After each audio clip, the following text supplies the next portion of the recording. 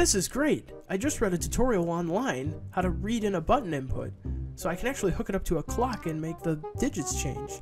This is gonna be so much fun!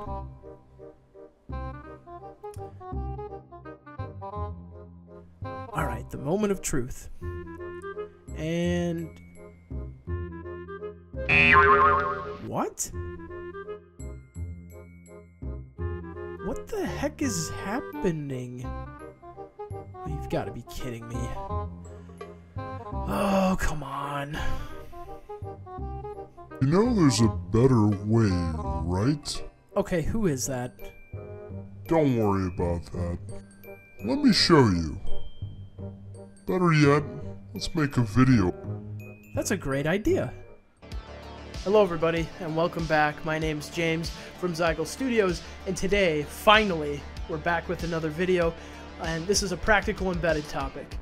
So this is not a novel problem. Um, I hope you enjoyed the skit at the beginning of the video, but this is not a novel problem. This has been happening since the, eh, basically, beginning of the digital age. Ever since switches had digital inputs, there's always been an issue of sampling those switches at a rate where it's human intuitive.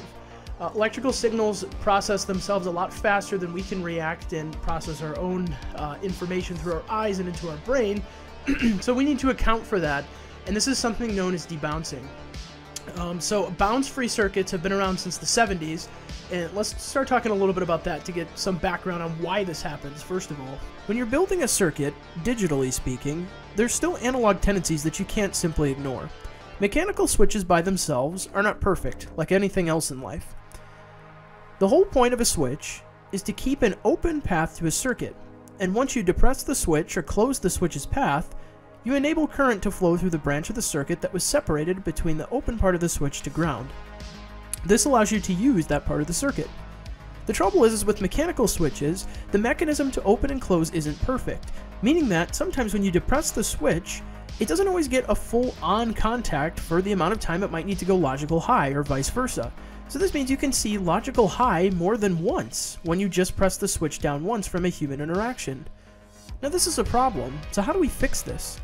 Well really, the idea is to basically ensure electrically that the switch can't change states quickly enough to the point where before it reaches steady state, meaning before the hand comes down on the switch, that the digital system can sample the input too quickly to change its state.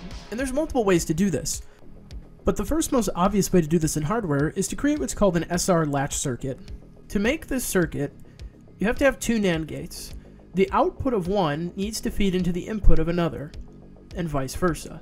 The other inputs to these NAND gates are going to have pull-up resistors to them, and there's also a switch connecting these two pull-up resistors together. If the switch is on, the upper gate is going to be 1 regardless of the input, and the one on the bottom drives the lower NAND gate to 0, and that will then race to the other gate. The switch will move back and forth between the input and the contacts when somebody goes to press on this, but there'll be a period of time where that input won't matter because of the race between the two gates. The latch will retain its state at zero because of the zero state NAND gate that's being fed back into the output. The switch has the ability to then move freely before that period of time has elapsed and then the state can change.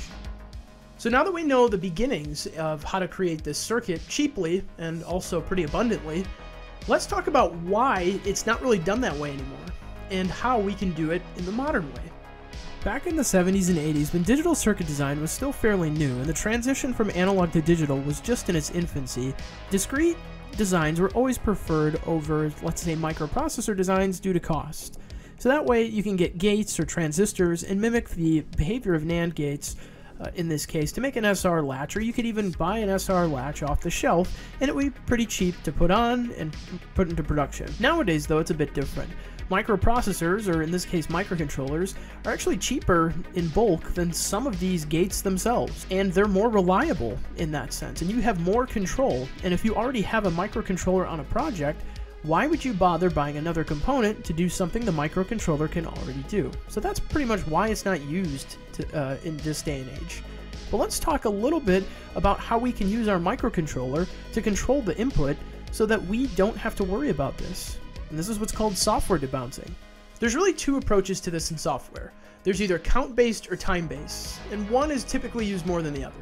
But it really depends on your application as to which one you should choose. Typically, a count-based solution is a much more effective solution.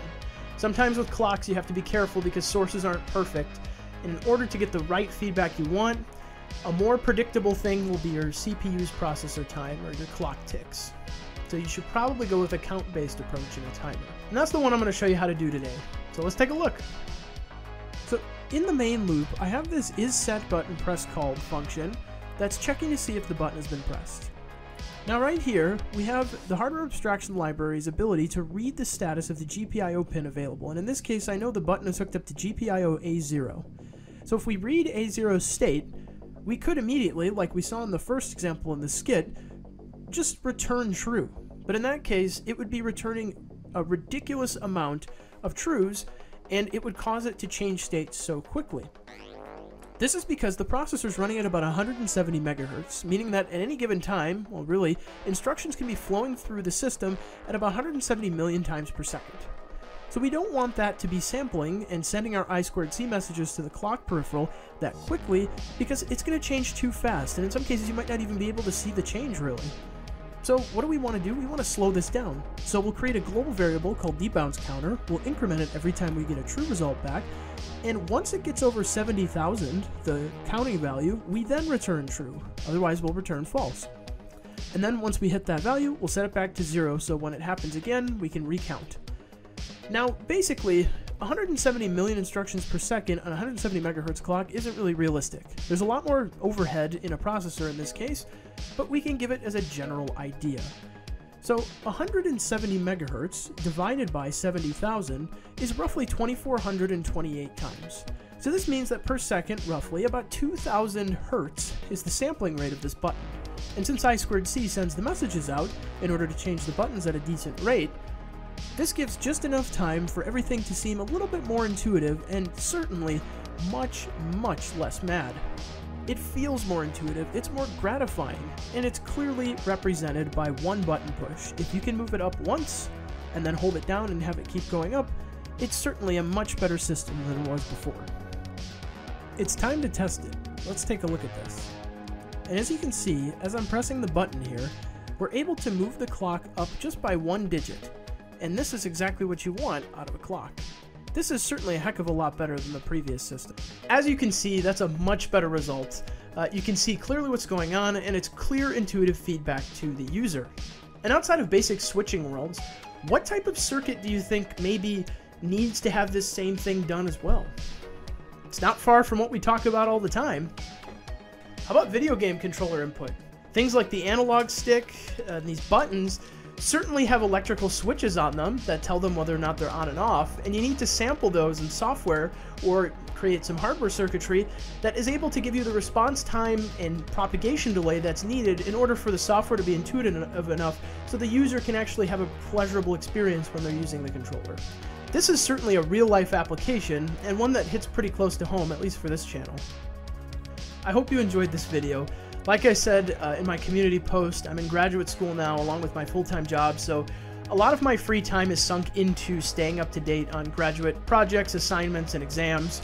Uh, but I figured I'd throw this out as a video because this is actually a topic we covered in class and something I've done in industry as well. Uh, debouncing is nothing new and it's not going anywhere, so I figured it might be a good topic for a video. Please drop a like if you enjoyed the video and subscribe if you can, it helps me greatly. And if there's any other topics you want me to cover, please let me know. This is James from Zygal Studios, signing off.